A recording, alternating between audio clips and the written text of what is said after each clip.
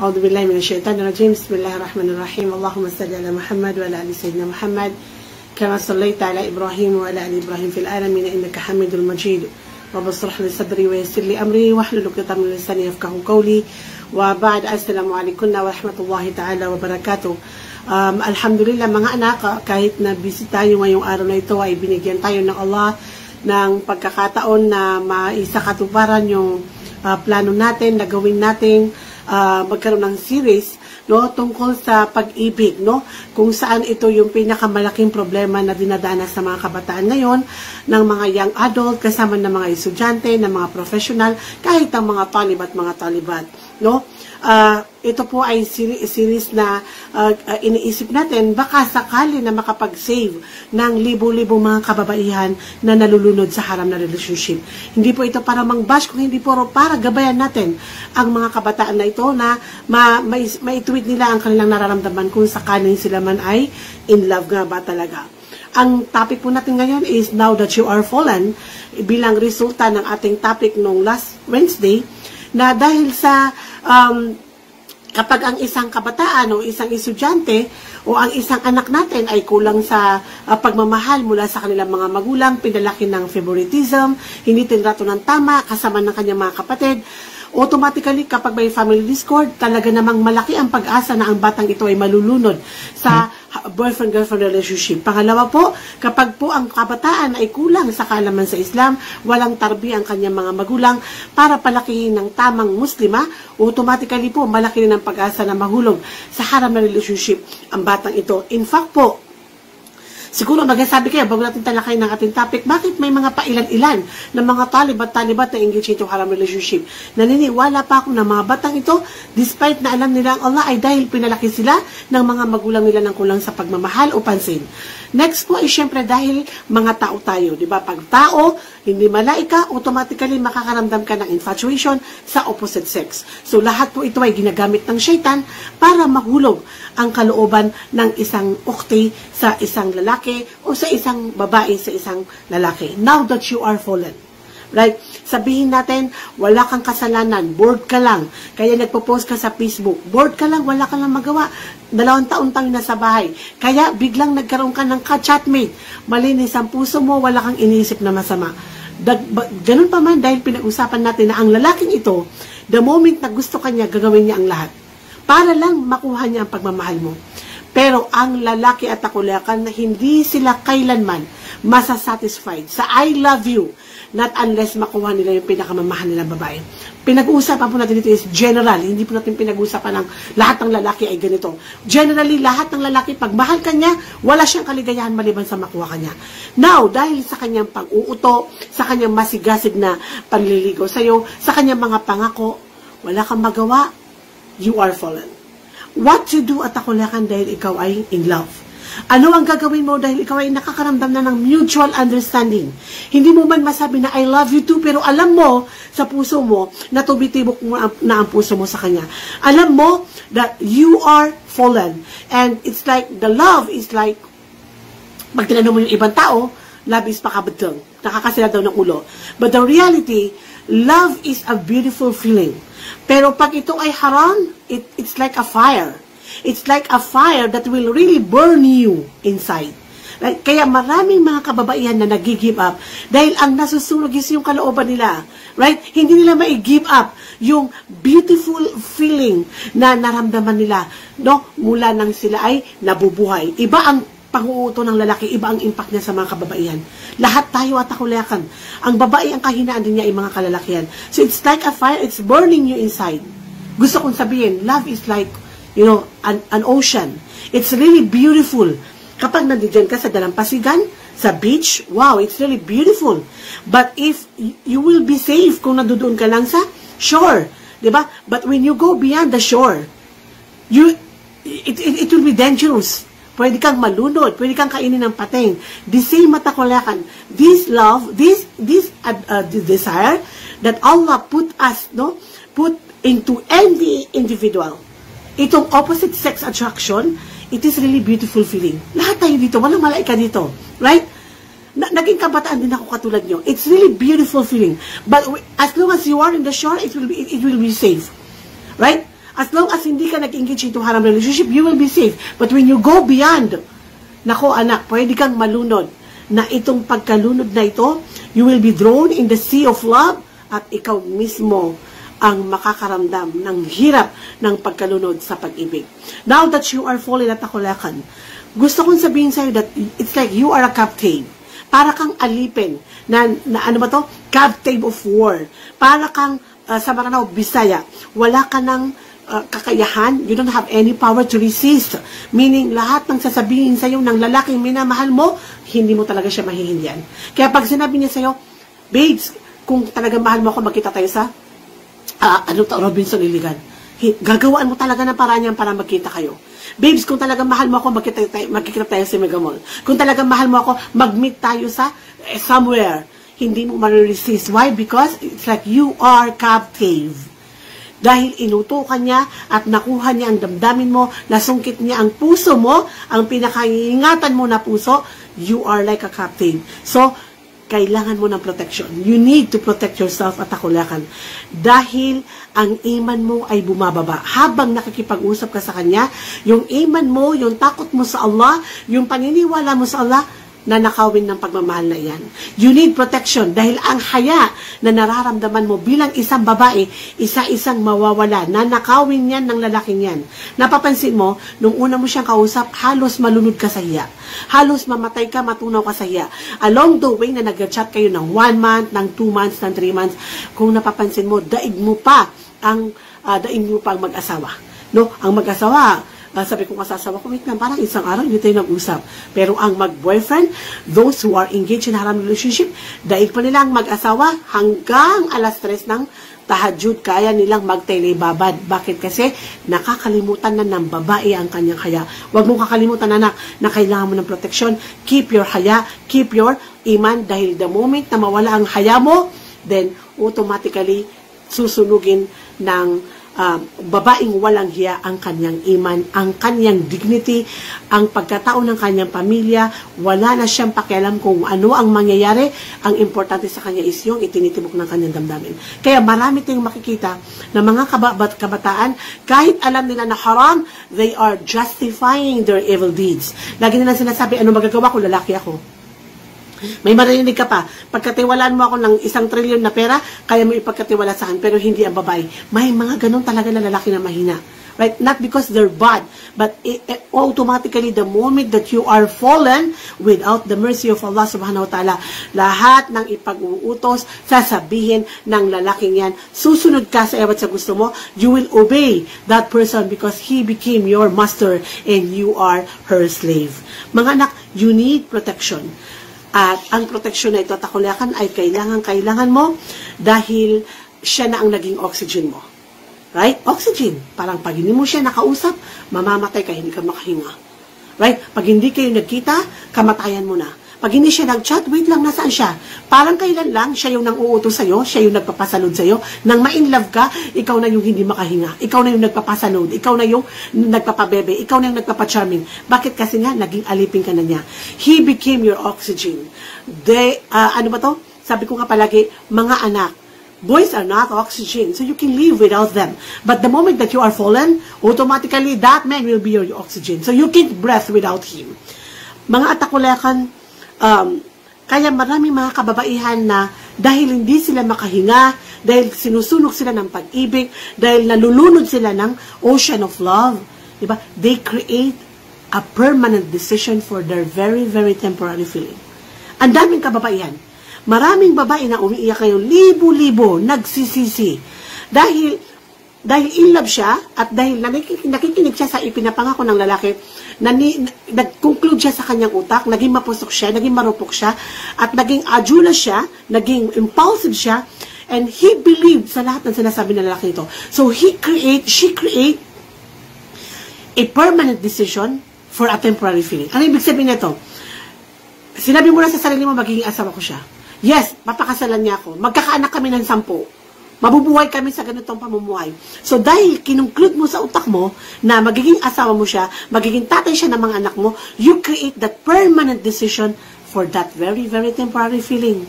Mga anak, lahat tayo naging dalaga. Sa mga kababaihan, sa mga nanay nakikinig sa akin, Nung, yung first crush mo, lahat nagkaroon din ako ng crush. Of course, hindi ako malaika.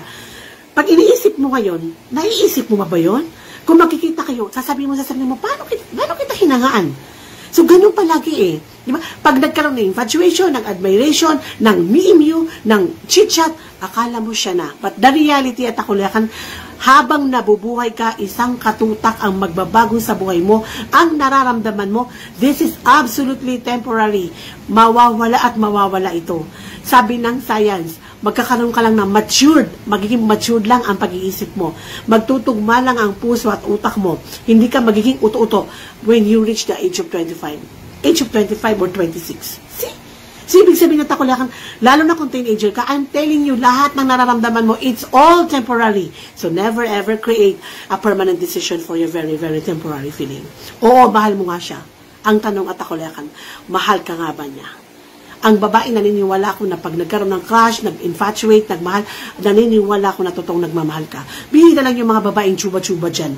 Di ba? Na gumagawa ng kalokohan. Mostly karamihan sa babae pag nagmahal totoo. Ang tanong ko anak, mahal mo siya pero mahal ka nga pa talaga niya? Sino ang tunay na nagmamahal sa'yo?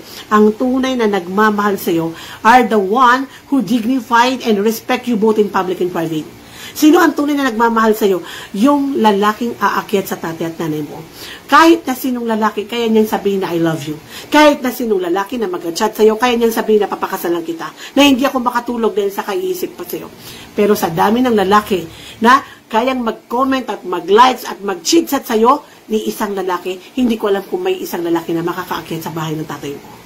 Right? So, at ako lakan, I do believe that real men are the one when he sees you in the public, he respect you both in public and private. But during his sujud, he is asking you from Allah. Hindi totoong nagmamahal ang mga lalaking yan na puro chit-chat lang at mga pangako. Puro panguuto lang. Ang totoong lalaki na magmamahal sa'yo, kahit mas mahirap pa sa daga, sabi ko nga, kahit ang tatay mo ay si Duterte, susulungin niya yan, aakyat siya, kahit wala siyang pera. Bakit? Kasi nais kanya maging nanay ng mga anak mo at hindi, hindi kanya ilalagay sa kapahamakan. Hindi kanya yayayain sa zina at mas lalong hindi kanya ihuhulog sa narakadyanam. Mga anak, you need to dignify yourself. Okay, in love ka. Okay, mapusok ka. Okay, babae ka. But you need to dignify yourself. Bakit tatakulakan? Dahil ang babae, ang babae, gusto kong ihalin tulad ang babae sa isang flower. Beautiful flower. Iba't ibang flower. Ang babae, iba't ibang klase ng flower. All flower are beautiful. Walang babae na pangit. At para sa mga kababaihan, sabi nga nila, kahit na si no, takpan mo lang ang muka, kapatulan nila yan. Ganyan sila ka, ka ano ba to kahina pagdating sa mga kababaihan. So every women are beautiful. So manala, ano pa kaya kung nagpa-post ka sa Facebook, nagpapabebe ka sa Facebook, mas lalo ka magiging very beautiful. At katulad ng flower na ito, mananatili lang at akulakan ang kagandahan ng flower kung siya ay nasa halaman.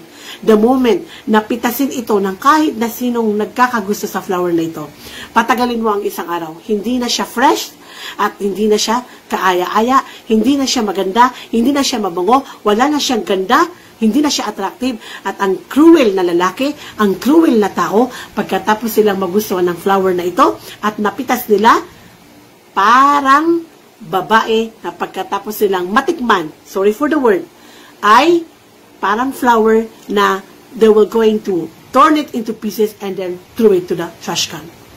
Kaya ang dami ng babae, bakit ganun ka ka? Sa dir kakasal ka ka, anong kasalanan ko? Ang kasalanan ko lang, minahal ko siya. Ang kasalanan ko lang, nakinig ako sa kanya. Ibinigay ko ang gusto niya, pero ang, ang, ang problema, iniwanan niya ako. Exactly. Dahil ang babae parang flower, pag nawala ang dignity mo, nawala ang chastity mo, bakit ka papapakasalan ng babae, lalaki yan? E, ibinigay mo na sa kanya na libre yung pagkababae mo. So mga takulahan, sa lahat ng may kachitchat, sa lahat ng may ka-emu, sa lahat ng in love, listen to me, that man will make you like a flower, so beautiful and so beautiful and so fragrant and attractive, but he, he will make you into pieces and throw, it, throw, throw you into trash can. Wana'udhu billahi min dhalik. Mga takulakan, in Islam, Islam dignified the women. All women are important in Islam. But the Muslim women, yung babaeng Muslima na tumitibok ang la ilaha illallah sa kanyang puso. Ano pa kaya kung ikaw ay nagsasala? Ano pa kaya kung ikaw ay hijabi? hijabi? Ano pa kaya kung ikaw ay munakiba? Ano pa kaya kung ikaw ay isang maranaw, magindanaw, tausog balik Islam na tumitibok ang la ilaha illallah sa kanyang puso? Sabi ng Propeta Muhammad sallallahu alaihi wasallam, no? Kung paano ka dinignified. Al-mar'atu al-mar'atu muslima khairan min alf rajulin ghayra salih. Ang isang babaeng muslima ay mas matimbang, mas kaaya-aya, no? Sa Allah kaysa sa isang libong lalaki na hindi salih. Ano pa ang sinabi ng uh, Rasul sallallahu alaihi wasallam? Ad-dunya umataun wa khairu matauha mar'atun sal al-mar'atun salihah. Ang mundong ito ay punong-puno ng mata, punong-puno ng treasure, ng mga precious thing, ng mga bagay na napakaganda, mga kayamanan na kaaya-aya nakakaakit na makuha mo. Pero ang sabi ng Propeta Muhammad wasallam, wa khairu mata'uha al-mar'atun salihah. Ikaw na babaeng muslima, ikaw na maranaw na muslim, ikaw na tausog na muslima, ikaw at ako ng pinakamahal na bagay sa mundong ito. So dignify yourself. Hindi porki nagmahal ka, gagayahin mo yung mga non-muslim, nahiiga ng libre. Hindi porki nagmahal ka, mawawala ang haya at iman mo. Dignify yourself because Islam dignified you. I always said this. Don't expect anyone to respect you if you don't know how to respect yourself. Don't expect anyone to love you if you don't know how to love yourself. Don't expect anyone to marry you kung hindi ka naman karapat dapat na maging nanay ng mga taong ito. Nagkaroon ako ng isang event sa lahat, puro lalaki ang, ang, ang, ang participant. And I'm telling you what ako lakan. Ito ay mga professional, mga young students, mga kabataan na mga adult na nag-aaral sa isang napakalaking university, what their response to me when I told them kung sino yung kanilang ideal girl, ang gusto nila na ideal girl is yung babaeng muslima na hindi marunong makipag-cheat sa isang lalaki. Ang gusto daw nilang pakasalan ay ang babaeng may takot sa Allah. Ang gusto nilang maging nanay ng mga anak nila ay ang babaeng hindi mabilis bumigay. Mga anak, Islam dignified you. You are the most precious thing in this world. Ano ang mahalagang bagay sa mundong ito? Listen to me mga takulakan. Mami, tulungan mo ang anak mo. Ano ang mahalagang bagay sa mundong ito? Pera. Money. Everyone are crazy of this money. Right? When we talk about money, everyone are crazy about this money. Nasaan ang pera? Yung mga libu-libong pera. Kahit yung piso, nasa wallet. Isang daan nasa wallet. Pag malaking pera, nasa vault, nasa bangko. Bakit kailangan nasa bangko? To protect the money from mula sa mga magnanakaw. Right? Ikaw at ako lakan. Nang sabihin ng Propeta Muhammad sallallahu alaihi wasallam na mas mahalaga ka, ka sa, sa lahat ng mga bagay sa mundong ito, gusto mo ilagay kita sa vault? Hindi kita pwede ilagay sa vault kasi hindi ka kasya doon, mamamatay ka doon. Pero paano ka poproteksyonan ng Islam? Mula sa mga lalaking mahina mula sa mga lalaki na hindi marunong um, gumalang sa babae, Allah will give you the hijab. Itong hijab na ito, takulakan, itong hijab na ito, Allah make this hijab as an obligatory for you to protect yourself mula sa mga lalaki, mga magnanakaw. Mga magnanakaw, hindi pera ang ninanakaw, mga babaeng ninanakaw nila sa Facebook. Right? Mas mahalaga ka takulakan kaysa sa pera. Nanakawin ka ng mga lalaking ito. Nanakawin nila ang pagkababae mo, ang pagkatao mo, ang iman mo. Hihuhulog ka pa nila sa narakajanam. Kung talaga bahal ka nila, hindi ka nila itatsak. Isang katutakang kilala ko ng mga lalaki na gusto nila yung mga estudyante ko, never silang nag-chat, diretso sa akin, diretso sa ustad. At talaga naman sasabihin, kakagusto kong pakasalan to. Yun ang nakakamasya Allah ng mga lalaki. Masya Allah, gusto kong magsaluduhin ng mga lalaking ito ng dalawang kamay ko, pati pa ako. Yun talaga ang totoong lalaki, anak. Maniwala kayo at ako layakan ang totoong lalaki na nagmamahal sa iyo. Gagawa niya ng paraan para na mapakasawa kanya. Hindi siya dadaan sa haram. Dahil inirespeto kanya, dahil mahal kanya, aalagaan kanya dahil gusto niya magkita kayo sa paraiso. Hindi kanya ihuhulog sa narakajanang. Mga takulakan, you are precious than a gold.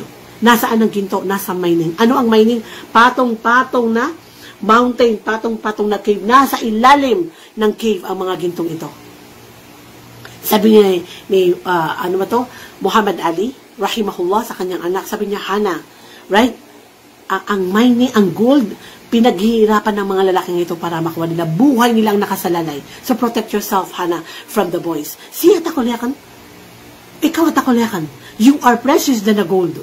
Hindi ka, hindi ka peke ikaw ay tunay na mananampalataya. Uulitin ko lang at akulekan.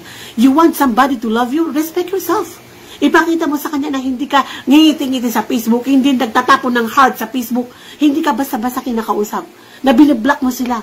Lahawla, hindi ka katulad ng mga ukay-ukay na babae sa Facebook na kahit na sinong lalaki ay pwede mag-chat sa kanila. Anak, iparamdam mo sa kanila na, na original ka. Ang lahat ng original na Louis Vuitton, kailangan ng 100,000 ng 1 million para bumili ang lalaki ito. Di ba? ang, ang tao gusto bumili ng original na bag. Pero kung gusto mo ng fake, nandoon sa Divisoria, tagpa 500, 200 pesos makakabili ka. So, ikaw ang nasa sayo at ako lakang. Value yourself. Islam value you, pero walang magagawa ang Allah kung ikaw mismo ang nagdidegrade sa sarili mo. Girls, you are precious than a pearl. Nasaan ang perlas? Nasa pusod ng dagat. Sumisisid ang mga lalaking ito. Pagkatapos nila mag-diving, mag-aral ng pagdadive, buhay nila ang nakasalalay para lang makakuha ng pearl sa ilalim ng dagat. Saan nakalagay ang pearl? Nasa shell. Attractive ba ang shell? Hindi. Pero sino man ang makakakuha ng shell na ito, anong sasabihin ng lalaki? Wow, what a beautiful pearl. The same with you, what akulekan. Nagijab ka hindi dahil pang-arte. Nagijab ka hindi para may pang-post sa Facebook. Nagijab ka for the sake of Allah. Dahil naniniwalay ka, naniniwala ka takulekan na ikaw ay muslima nag, naghijab ka, hindi man nakikita ng lalaking yan ang katawan mo, ang figure mo, kung maputi ka, o 34, 24, 34, ang, ang, ang, ang, ang figure mo, pero sinumang lalaki ang magmay, magmamay-ari o magiging asawa ng babaeng muslima na may takot sa Allah, ang sasabihin lang niya, wow, what a beautiful form. Your body is not for sale. Hindi ka non-Muslim na kahit na sinong lalaki pwede makakita ng mukha mo. Hindi ka non-Muslim na kahit na sinong lalaki pwede niyang i-screenshot ang mukha mo at ilagay niya kung saan-saan. Mga takulakan, paano ka mamimiss ng lalaking yan? Kung laging laman ng Facebook ang mukha mo. Paano ka niya papakasalan kung lagi kang sumasagot sa kanya?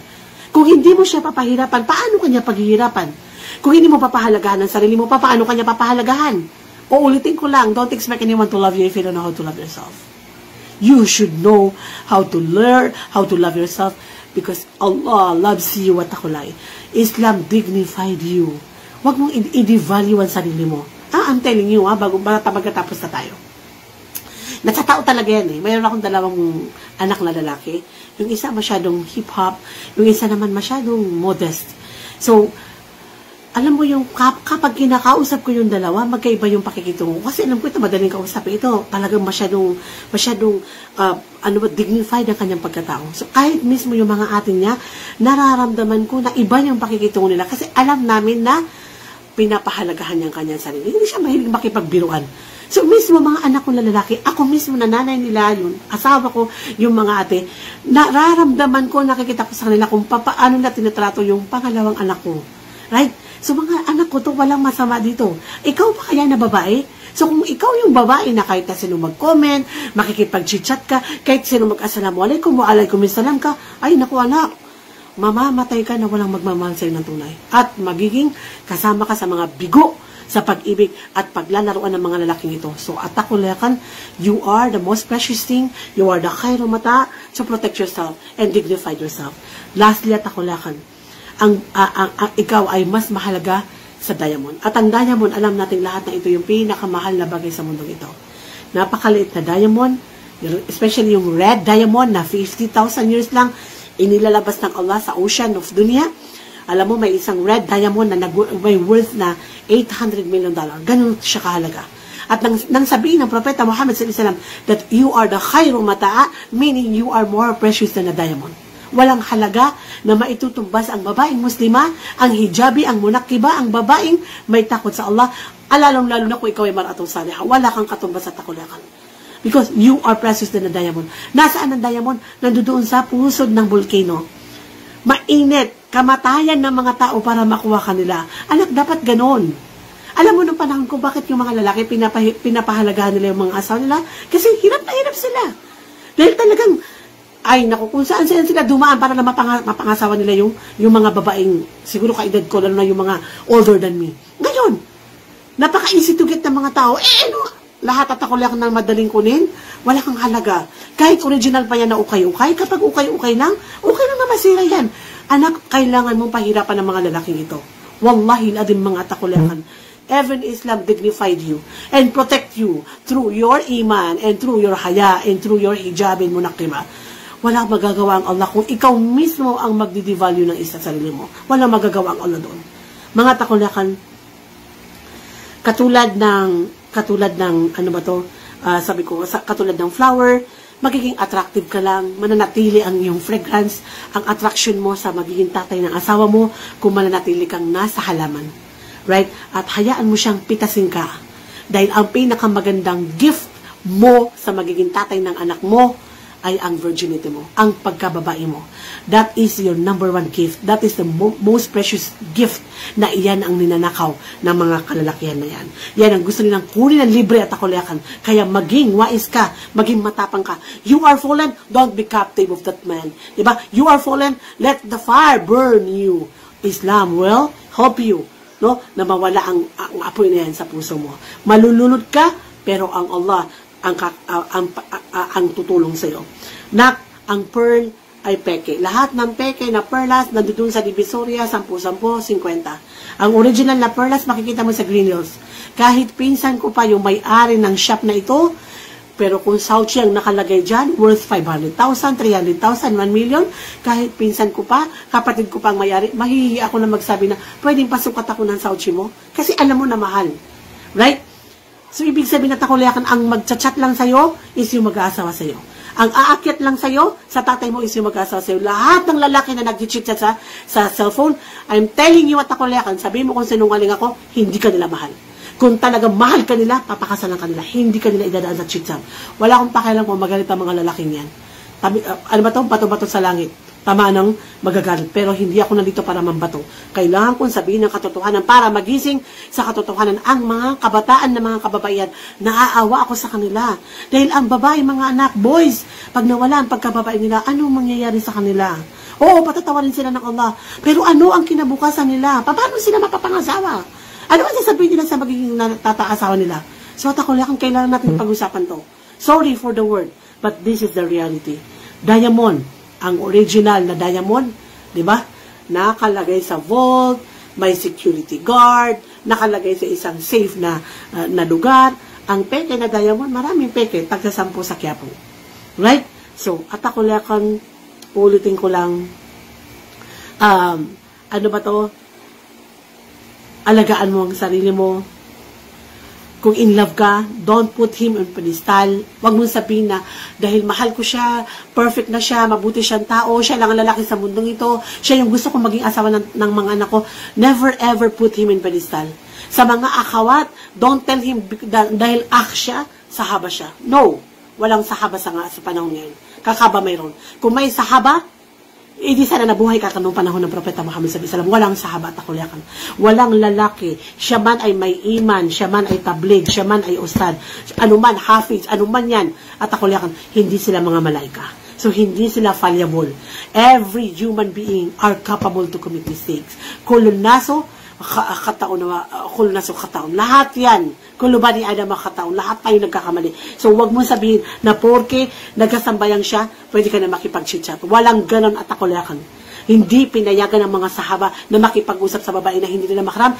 Automatically, mas lalo hindi tayo papayagan ng Islam na makipag-usap ka sa lalaki na hindi mo makaram. Because every time you talk with any man na hindi mo tatay, hindi mo kapatid, hindi mo uncle, hindi mo pamangkin, kahit first cousin mo, The third party is shaitan. At sinabi yan ng Propeta Muhammad sallallahu alaihi wasallam. So wag kang mag-expect na siya yung everything, na siya yung oxygen, na nasahaba siya, na totoo siya, na magiging tatay siya naman ako, na magiging uh, kadal ko siya. No, never ever no uh, go um, believe in a thing na ang Allah ang nakakaalam. Mga anak, ulitin ko lang, um, because you're burning inside, in love ka, congratulations, welcome to the club, babae ka, wala kang magagawa. Mas nakakatakot naman kung ma-in love ka sa babae to babae, di ba? Welcome to the club, tao tayo. Pero ah, dahil ikaw ay nasusunog, kailangan mo ng tubig. Burning inside, you need pure water. Ang pakiramdam mo, siya yung oxygen mo, kailangan mo ng, kailangan mong huminga. So, saan mo makukuha ang lakas na ito? Dahil kailangan mo ng protection, dahil kailangan mo ng lakas, kailangan mong huminga, kailangan mo ng tubig para masunog ang pagmamahal, the fire of love. Right? Dahil nalulunod ka, in the ocean of love, anak, you need Allah subhanahu wa ta'ala. Tatandaan mo, walang makakatulong sa iyo maliban sa Allah subhanahu wa ta'ala. At wala inahsantum ahsantum li anfusikum. Sabi ng Allah subhanahu wa ta'ala, kung ikayo ay magpapakabuti, katotohanan na nagpakabuti kayo para sa inyong mga sarili. Mga anak, mayroon akong isang estudyante, sobrang amazed ako sa kanya. Hindi siya talibat, hindi siya hafidha, hindi siya uh, ano ba to, uh, alima or ustada. Siya po ay isang young professional. At nang tanongin ko siya, anak, sa labi ng estudyante ko, kakaiba ka. Kayo lahat ng magkakabatch, nakita ko na sobrang blessed ang, ang, ang buhay niyo ng asawa mo. Nakikita ko yung um, or, mawaddat wa rahma sa inyong mag-asawa. Napaka mashallah. Tapos sabi niya, anak sabi mo sa akin ng sekreto mo. Anong sinabi niya sa akin? Sabi niya, kaka, lumaki ako ng Manila, maayos ang pamilya namin, mayaman kami, kilala kami. Pero sinabi ko sa sarili ko na kailanman hindi ako mag-e-entertain ng lalaki, hindi ako makikipag-usap ng sa kahit na sinong lalaki maliban sa magiging tatay ng mga anak ko. So sabi niya ganun, yung asawa ko, talagang marunong siya, hindi niya ako kilala, pero dahil nalaman niya siguro na mabuti akong tao, umakit sa mga magulang ko, and Allah put love and rahma between us. So maybe these are the reason. Kasi sabi niya, nakikita mo naman kaka, nagasambayang lang ako, nakahijab lang ako, hindi ako nakaabaya, uh, ako ay isang professional, pero mabuti akong muslima. Sabi niya ganun. And I think sabi niya, ito yung biyaya na ibinigay sa akin ng Allah. And it is really indeed true. Walang tao na nagpakabuti maliban sabi ng Allah, ahsantum li anfusikum, nagpakabuti kayo sa inyong mga sarili. Fa in wa in asatum falaha, kung magpapakasama kayo, kayo din ang mag-aani ng inyong kasamaan. Mga anak, libong-libong babae ang umiiyak, nagsisisi uh, na na ibinigay ang sarili niya sa lalaking um, minahal niya. Gusto niyang ibalik ang lahat pero hindi mo na maibabalik dahil ang pagkababae mo, isang beses lang yan mawawasak.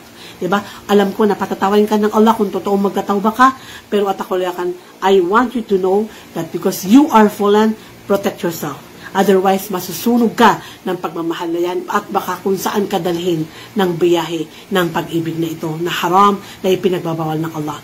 Patiently wait for your kadar at akulakan. Dahil walang nag, nagsabar maliban sa binyayaan ng Allah. Ang pagsasabar ay mapait, pero ang bunga ng pagsasabat ay sobrang napakatamis at napakaganda. So, patiently wait for that kadal. Mga takuliakan, kung may nasabi akong maganda, it's all from Allah. At kung may nasabi akong hindi maganda, it's all from me. Kung may nasaktan, sorry po. Pasintabi lang po. Dahil hindi ko po ito sinasadya. Kailangan natin pag-usapan ang causes, no, ang i-diagnose ang problema ng pag-ibig. Ipinag-usapan natin ang causes at tinignan natin ang epekto at nagbigay tayo ng konting remedy para kung may mga kainyo dito ay hindi na mapunta sa haram relationship at kung may haram relationship ay magkaroon siya ng lakas sa loob na iwanan ang lalaking ito. May Allah keep you safe and protect you from haram relationship at sa mga kabataan na bigyan kayo ng Allah ng napakataas na iman at haya at maglagyan nyo ng value ang inyong mga sarili. Walilay tawfiq wal hidayah. Pakishare po ang video na ito kung sa palagay nyo ay kapakipakinabang sa inyong mga kaibigan at kapamilya. Assalamualaikum warahmatullahi ta'ala wabarakatuh.